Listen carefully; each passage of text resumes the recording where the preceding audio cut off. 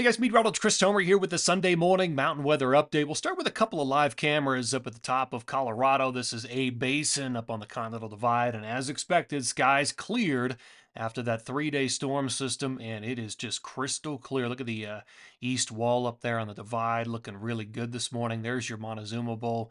You can see the clear skies. You can look actually look all the way back to Breckenridge there in the back uh, on the 10 mile range. So good visibility up there this morning. Here's radar out of the west, and there's just a little bit of precip up there in the parts of Oregon and southern Washington, really in between storm systems right now.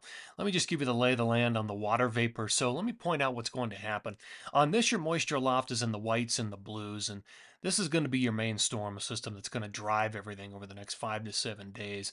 It will send in front out ahead of it a wave that will cruise down through the Intermountain on 11 11 and 11 12 with a quick shot of snow for the ski areas and a lot of the mountain environments. But this main storm system right here with a lot of jet stream support will eventually move into BC and the Pacific Northwest and even brush parts of the Sierra as it begins to make its move into the Intermountain. Now, yesterday afternoon, it looked like it might send some energy down into the southern tier. It's looking a little bit less likely today, but um, we'll look at all that in this forecast update. Here are the key dates for snowfall across the Wasatch, the Tetons, Colorado, New Mexico, and Tahoe. And just for example, in the Tetons, you've got light snow accumulation coming at 1112, and then moderate to heavy 1115 and 1116. Unfortunately, now it looks like it's all going to be pretty light for Colorado 1112 to 1113 and 1116 through 1117. Let me show you a time height forecast for Aspen Mountain ski area there in uh, Aspen, and it's pretty dry. This is a humidity forecast. This is a slice of the atmosphere, all the vertical layers. That's what you're looking at. Uh, humidity forecast for about 72 to 80 hours from now, and the timeline's at the bottom. You read that from right to left. The drier air is it's entrenched now. That's in your yellows.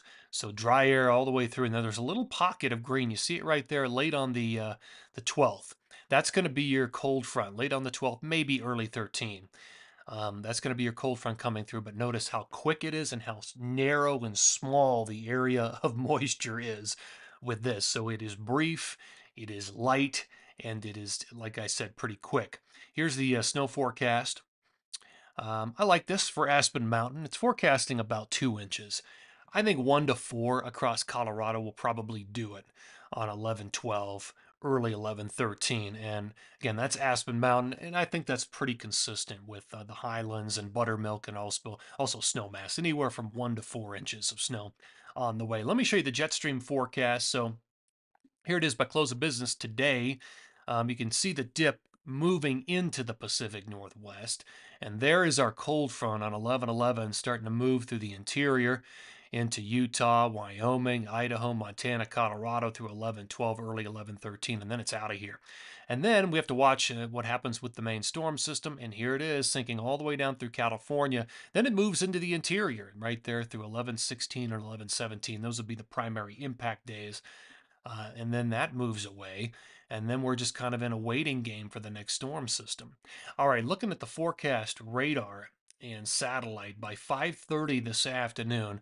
There's that little bit of precip up there moving through Idaho, Montana, maybe Wyoming, moving through with a very light amount of snow. Um, then it's gone. Here comes our front, and notice it does brush, moving through Shasta and Tahoe with some snow on 11:11 and then it moves into the interior. Here's 11:12 in the morning. Snow heading towards the Wasatch and the Tetons. By 11:12 in the afternoon I mean it's basically moving it's almost through the Wasatch and it's moving into Colorado especially across the western slope of Colorado. Uh, by 11:13 a little bit leftover snow in Colorado then it's gone. Next storm system you can see what it's doing. This is by 11:15 um, some energy does drop down into uh, parts of Washington, Oregon, California, BC, and that starts to move some moisture into the interior. So that catches the uh, the Sierra again. That moves into the interior 11:15 in the afternoon. There's 11:16, 11:17, and then it moves on through. Another storm system coming in from the northern tier on 11:19. You can see that slide on through. I mean, this pattern really just looks a lot like what I'm expecting this winter with this La Nina light pattern, really mirroring that storm track. All right, here's my snow forecast all of today through tomorrow. Um, that front that uh, hits on 1111 uh, in the Sierra brings probably two, three, four inches of accumulation. Everybody else is pretty light unless you're up in a Baker or Whistler. You could potentially see 6 to 12 inches there. Some snow for the interior parts of BC as well. Right, here's the second time period. This accounts for the tail end of that cold front plus one to two additional storm systems. In the Sierra, two to four, less down at Mammoth, probably four or five up there at Tahoe, and maybe a foot around Shasta, six, Mount Ashland. And look at the uh, Pacific Northwest BC, northwest uh, parts of Montana, northern Idaho. Those are the big winners here. Uh, BC, I mean, anything in, in the purple shading is over a foot. So I mean, you're looking at one, two, maybe three feet in a couple of spots. Interior BC should do really well with this. Less snow as you traverse down past the interior into Banff.